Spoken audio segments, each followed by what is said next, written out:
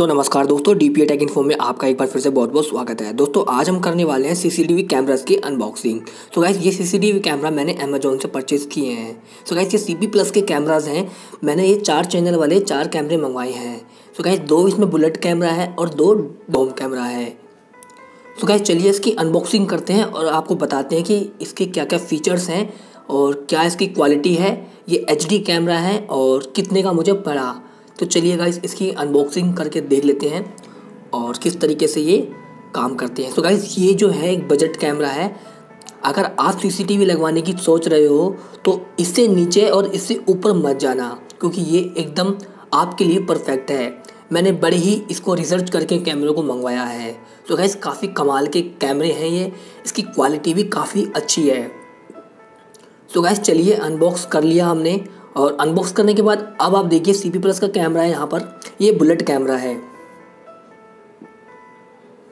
और इस बॉक्स के अंदर ये कुछ इसके पेज स्क्रू वगैरह आते हैं और साथ में आती है इसकी यूज़र गाइड और इसके अंदर इसके सारे फीचर्स लिखे हुए हैं। सो so गाइस इसकी जो रेंज है 20 मीटर की है और इसका जो लेंस है 3.6 पॉइंट mm का है।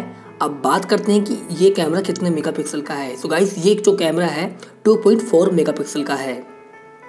और ये एक नाइट विजन कैमरा है, जो कि अंधेरे में भी रिकॉर्ड कर लेता है। सो गाइस अब बात कर लेते हैं इसके प्राइस की। सो गाइस ये बुलेट कैमरा मुझे अमेजोन से तेरह सौ रुपये का पड़ा है। तो इसका लिंक मैंने नीचे डिस्क्रिप्शन में दे दिया है। आप वहाँ से इसका प्राइस चेक करके इसको बाई कर सकते हो। तो चलिए, अब हम अनबॉक्स कर लेते हैं अपना दूसरा डोम कैमरा सो ये भी एक एचडी कैमरा है और दोनों की क्लैरिटी एकदम सेम है। ये डोम कैमरा है और वो हमने पहले अनबॉक्स किया था, वो बुलेट कैमरा है। बुलेट कैमरे का यूज़ हम बाहर के लिए करते हैं। हम अपने घर या दुकान में कैमरे लगाते हैं तो उस कैमरे को हम बाहर लगाएँगे और इस कैमरे को अंदर। तो चलिए इसको मैं अनबॉक्स कर लेता हूँ और यहाँ पर मैंने इस कैमरे को अनबॉक्स कर लिया है। तो कुछ इस तरीके का ये कैमरा दिखता है। ये बिल्कुल छोटा सा डोम कैमरा है। तो ये कैमरा भी नाइट विजन कैमरा है, ये भी अंधेरे में रिकॉर्ड कर लेता है। और इस कैमरे को मैंने बारह सौ में अमेजोन से परचेज़ किया है। अगर आप सीसीटीवी कैमरा लगवाने की सोच रहे हैं तो इससे बेस्ट चॉइस आपके लिए नहीं हो सकती। तो गाइज़ अगर आपको इसको खरीदना है तो मैंने वीडियो के नीचे डिस्क्रिप्शन में इसका लिंक दे दिया है। आप वहाँ से इसका प्राइस चेक करके इसको बाइक कर सकते हो।